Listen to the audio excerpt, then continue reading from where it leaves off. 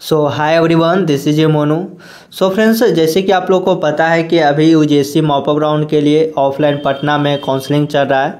तो फ्रेंड्स आज जो सीट बचा है, यानी कि आज तक का जितना भी काउंसलिंग हुआ है, उसके बाद कितना अभी भी कौन कौन से कॉलेज में कौन कौन से ब्रांच में कितना सीटें अभी भी अवेलेबल है, जिनका भी पाँच तारीख के बाद जिनका भी काउंसलिंग है तो आप एक देख लीजिए कि कौन से जो भी आपका चॉइस होगा कॉलेज एंड ब्रांचेज तो आप उस कॉलेज के पार्टिकुलर देख सकते हैं कि कौन से कॉलेज में कितना सीट है, कौन सा ब्रांच में आपके कैटेगरी अनुसार।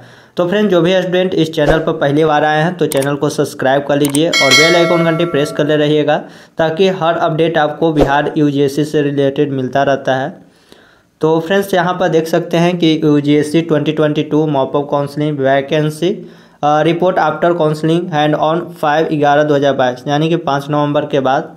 तो यहाँ पर देख सकते हैं, बख्तियारपुर इंजीनियरिंग कॉलेज में अभी सिविल में एक सीट बचा हुआ है जो कि अभी भी ई डब्ल्यू एस के लिए। और उसके बाद यहाँ पर मैं दिखाना चाहता हूँ फ्रेंड्स कि जो भागलपुर इंजीनियरिंग कॉलेज में लेना चाहते हैं तो आपको सबसे ज़्यादा स्टूडेंट का रहता है कंप्यूटर साइंस के लिए तो यहाँ पर दिखा देता हूँ कि कंप्यूटर साइंस भागलपुर में नहीं है, यानी कि सब ब्रांच फुल हो गया है। कंप्यूटर साइंस के लिए ब्रांचेज है, जो कि इसमें एक भी सीट नहीं है। उसके बाद पार्टिकुलर एक ब्रांच के लिए मैं बता देता हूँ सभी में, और अपने अकॉर्डिंग देख सकते हैं। जैसे B C B P M से मधेपुरा में कंप्यूटर साइंस में एक सीटें हैं और ये कौन सा कैटेगरी है, देख लेते हैं।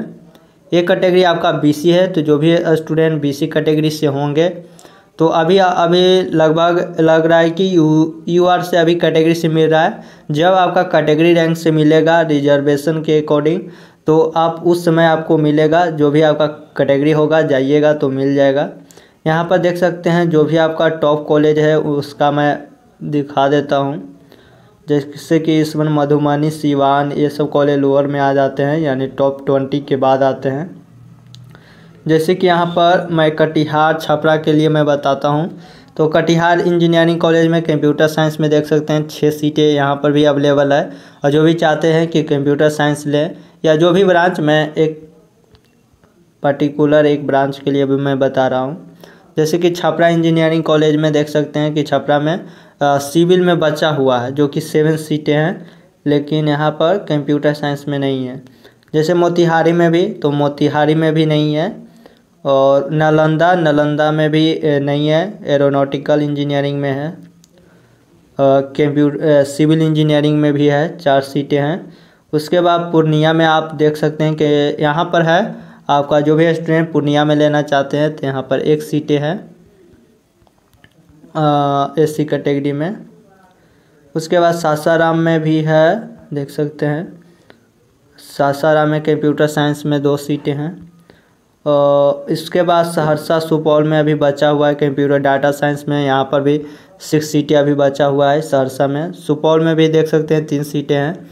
तो फ्रेंड्स ये सब कॉलेज में इतना सीटें हैं और मैं टोटल में बताऊँ कि अभी भी बिहार के जो इंजीनियरिंग कॉलेज है, उसमें छः हज़ार पचासी अभी सीट बचा हुआ है। तो जो भी स्टूडेंट पार्टिसिपेट किए होंगे तो सभी को मिल जाएगा। ये नहीं है कि मेरा इतना रैंक है तो नहीं मिल पाएगा। जितना भी आपका रैंक है, छः हज़ार बहुत सीटें होती है। और आधा समझिए कि हुआ ही है। आधा से भी कम हुआ है अभी एडमिशन तो आप लोग को सभी लोग को मिल जाएगा। तो आप वेट कीजिएगा और तो फ्रेंड्स यदि इस पीडीएफ को डाउनलोड करना चाहते हैं तो हमारे टेलीग्राम ग्रुप में एंड व्हाट्सअप ग्रुप में ज्वाइन रहिए, ताकि आपको इस पीडीएफ को वहाँ पर अपलोड कर दूँगा। तो आप देख सकते हैं। तो चलते हैं। Thank you so much friends